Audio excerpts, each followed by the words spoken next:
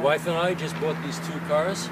I had a 2010 and I loved it. I hated to even trade it in. I hugged it when I gave it up. Uh, it's a better car than I expected. It rides like a heavy car and I just love the Prius.